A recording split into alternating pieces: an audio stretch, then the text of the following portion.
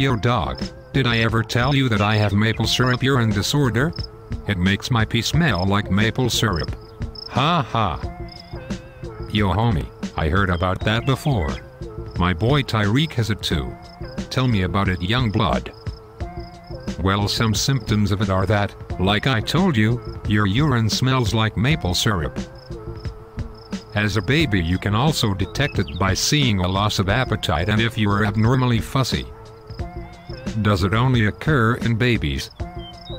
Nah bro, it's a genetic disorder so you first detect the symptoms in babies, but if you're treated for it then you still will have it as an adult. Oh snap. So it's a genetic disorder? What genes and chromosomes are involved with it then homie? Dog. The most common way to obtain this disorder is from a mutation in chromosome 19 which decodes the alpha subunit B, C, K, D protein complex. This protein complex is used to break down the three amino acids, leucine, isoleucine, and valine. So if any of the proteins involved with the protein complex B, C, K, D has a mutation, then there will be an overflow of these amino acids in your blood system. This elevation in amino acids translates into your urine which makes it smell like maple syrup. Whoa homie, that's whack. So is this disorder inherited from your parents? And can you be treated for it? Or is you gonna die? Bro I ain't gonna die. What you thinking? But for real though, I'm able to go about my life normally just like you for the most part. And to answer your question, this disorder is inherited from your parents. In order to get it, you need to receive a defective copy of the gene from both parents. If both parents carry the gene then you have a 25% chance of getting the disorder and a 50% chance of being a carrier.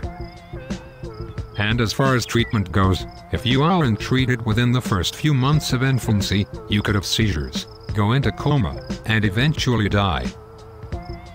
For treatment with babies, they are given a special formula that lacks the amino acids leucine, isoleucine, and valine, so that they don't build up in the bloodstream because of the body's lack of ability to break these amino acids down. For grown-ups, like me, we have to watch what we eat, avoiding high-protein foods like meat, eggs, and nuts. So other than my diet and my sweet-scented urine, my life is almost completely normal. What if it doesn't help though? Are there any other treatments? If the diet doesn't help then there are other treatments.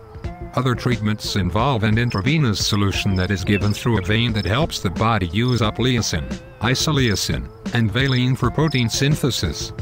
Potentially, gene therapy could be used to cure this disorder in the future. They do this by replacing the defective gene with a good, working copy so that your body can generate its own B, C, K, D, Yo that's dope homie. We should go and tell people about this disorder. Yeah homie. Word. I know of a support group already. They call themselves the M. S. U. D.